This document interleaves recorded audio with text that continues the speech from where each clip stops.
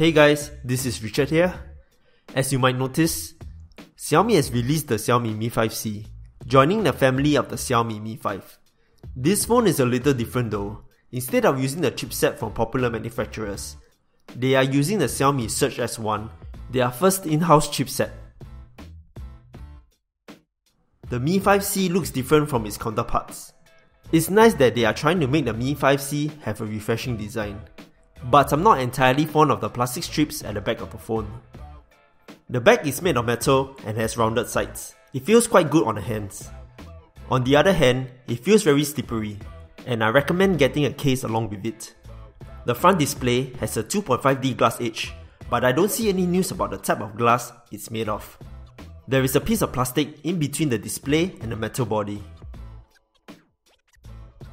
There are two antenna bands each on the top and bottom, but I prefer the design of the previous Mi 5. The form factor is small with a 5.15 inch display. Using it one-handed shouldn't be a problem for most people. Power and volume buttons can be easily located and have a nice tactile feedback. A single speaker grill sits on the right of the Type-C USB port. It's small and has some loudness at maximum volume. Holding the phone in landscape mode will definitely cover up the speaker. Feels like a single piece of material. The other part with the glass back doesn't feel that smooth. I could feel a hint of protruding roughness. Nothing too major, just wanted to highlight this a little. Five antenna bands located on the metal sides are dark colored, camouflaging with the black sides. In the audio settings, there is an equalizer option and you can also assign buttons for compatible earphones.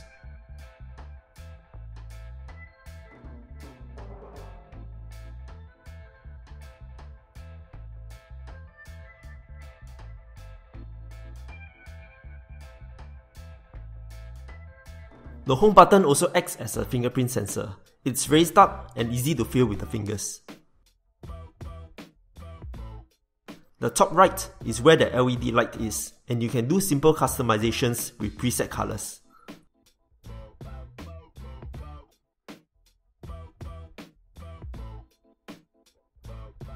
The camera module is placed behind the plastic strips, and it's great that it's not protruding. What I'm worried is, over time the plastic strips will get scratches easily, and it's going to block out the lens. I wonder about this design choice and hope that the strip will be resistant enough. The Xiaomi Mi 5C packs a 5.15 inch Full HD resolution display, and it's rather refreshing to be using a smaller device after being used to bigger displays. The black bezels are minimal as compared to other Xiaomi phones, and it doesn't really affect the viewing experience. Xiaomi knows about the unsightly black borders and is taking steps to reduce it in size. Small display with Full HD means higher PPI, the contents on the screen is full of detail and is very sharp. It's using LED backlit display and the colors are very vibrant, and the display is bright enough to be used in direct sunlight. There is an option to adjust the contrast and colors to your liking.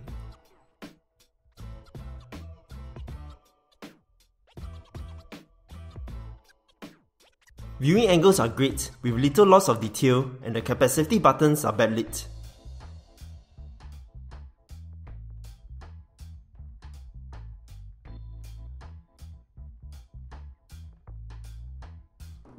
Both the navigation buttons are labelled as a dot, and you can either choose one as a back or menu button.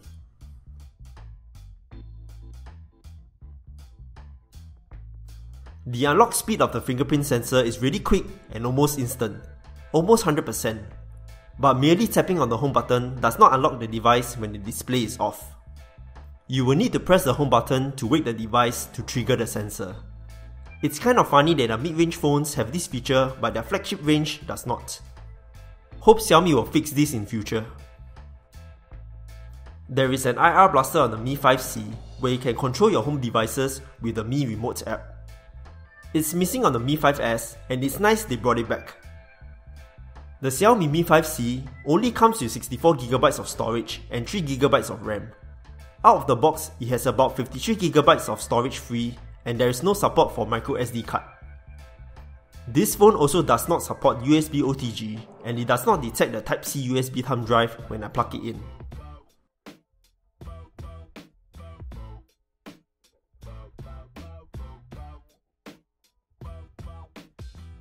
It comes with dual SIM support but it only supports China Telecom TD-LTE. Initially, inserting my SIM card does not detect any network, but after searching the internet for some workaround, I found an online thread that shows how to unlock the FDD LTE bandwidth on the Mi 5C. After following the steps, my SIM card can now be recognized. The link will be in the description below.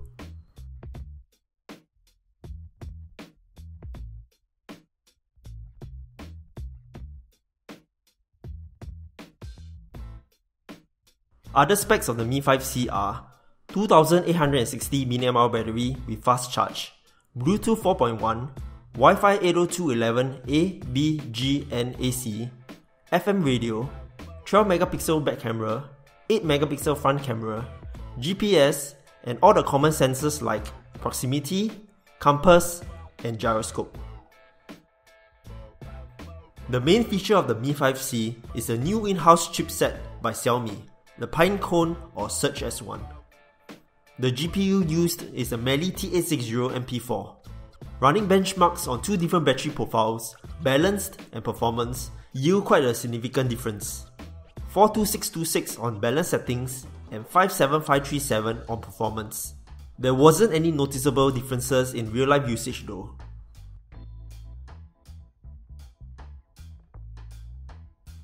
Gaming on the Mi 5C seems like it's able to take on demanding games quite well. Loading times was relatively quick, no stuttering or slowdowns that I noticed. Playing Dead Effect 2 with default settings was good, but when I set it to extreme settings, it wouldn't load at the start and the menu started to lag a lot. While in game, I managed to change the settings and the game fails to render the scene properly. If you don't mind gaming at default settings, I guess it's quite alright.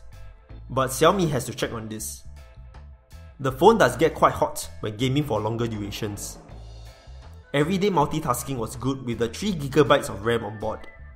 No signs of slowdowns, but apps to launch and load a little slow. Phone calls sounded clear on both sides, with the reception bars hovering around 4 to 5 bars most of the time. The Mi 5C is running MIUI 8.1 on top of Android 6.0. It's a China ROM, so Google apps need to be installed. The Google installer can be downloaded from the Xiaomi App Store. MIUI is heavily changed by Xiaomi, and the whole look and feel of the UI is nearly identical to other Xiaomi phones. One obvious change is the absence of an app drawer, but that can be fixed with a custom launcher. In the Themes app, you can further customize the UI with themes, wallpapers, and such.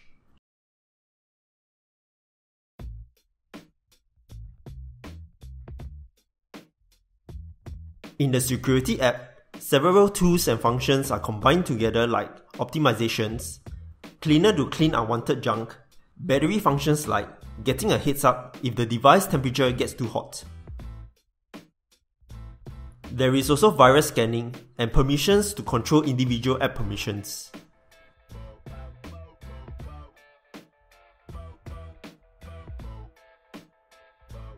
The scanner app has QR code, shopping mode where you can take a photo of an item, and it searches through Taobao and displays the product.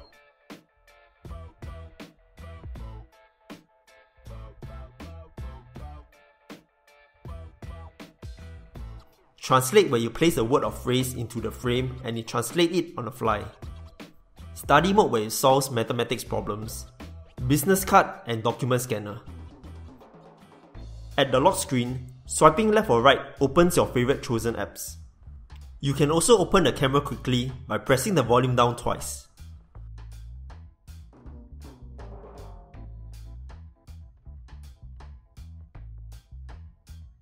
To protect your apps from being opened by others, use the app lock and set a password before allowing the app to be opened.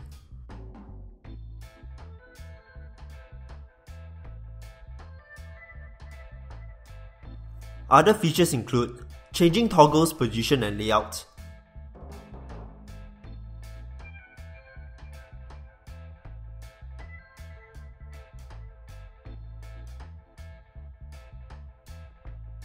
do not disturb mode,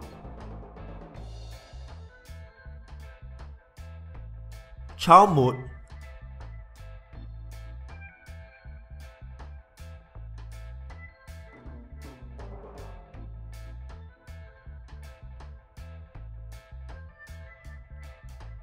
quick ball, customize buttons,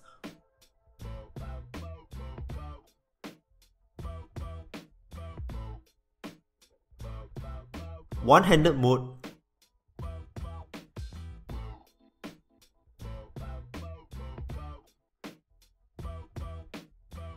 and reading mode to reduce background glare.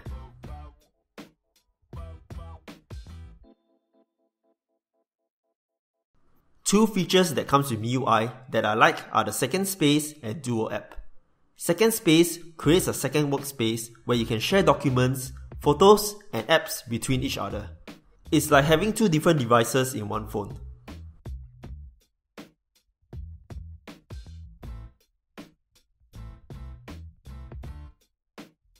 Duo app is where it makes a copy of a compatible app where it functions independently from each other.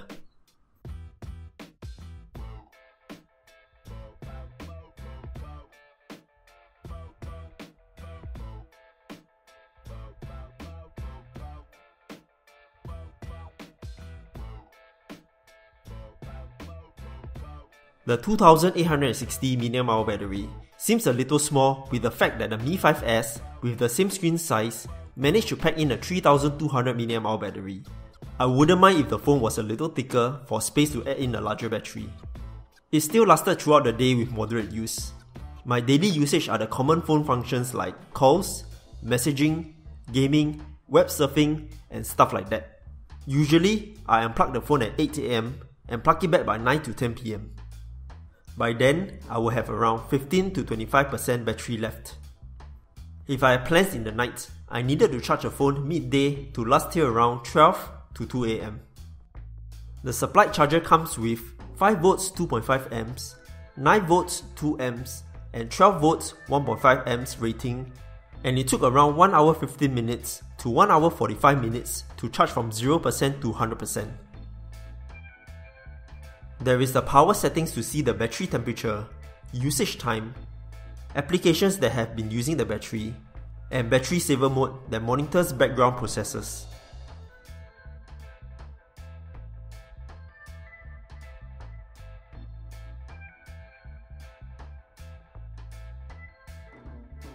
The Mi 5C has a 16 megapixel back camera and an 8 megapixel front camera.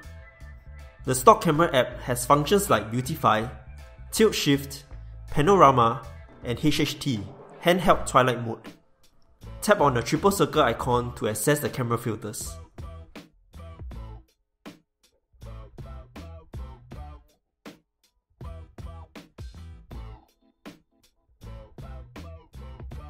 Daytime photos with good lighting retains sharpness, but the colors doesn't seem that vibrant to me. It would be nicer if the colors look more saturated.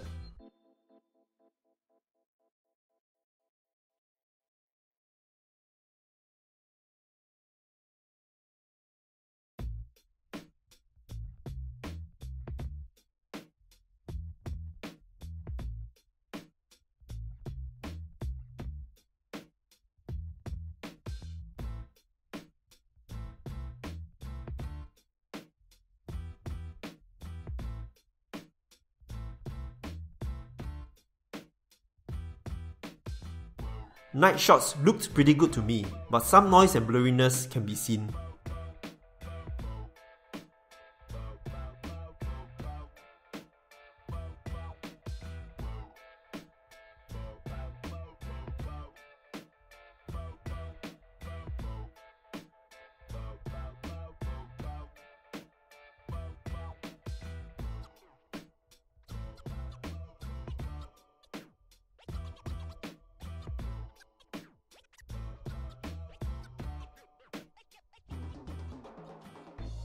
There is a button that looks like a film icon, which becomes colored when active. It apparently enhances the colors in the photos. This option wasn't there when I was using it, until a software update came. Manual focusing speeds is very quick and keep the focused object look sharp. But for continuous autofocus, it can sometimes fail to focus on a target object. Macro shots can be done with a maximum distance of 10 to 15 centimeters between camera and object. HDR mode takes longer to process photos and makes the scene look generally brighter. The handheld twilight mode is to improve night shots, but comparing the photo between this and normal mode, I honestly didn't see much differences. In manual mode, you can adjust settings like white balance, focus, exposure time, and ISO.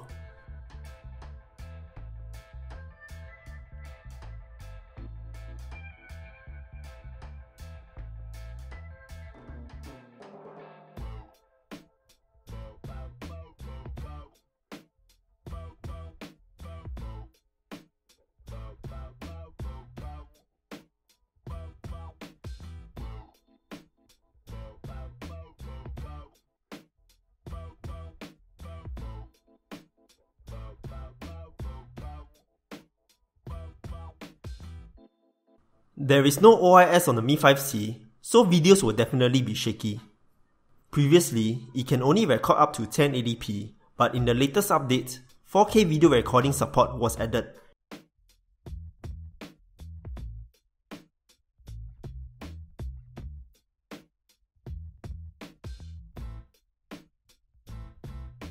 Front camera works well as a selfie camera and helps to remove blemishes on my face with the Beautify tool.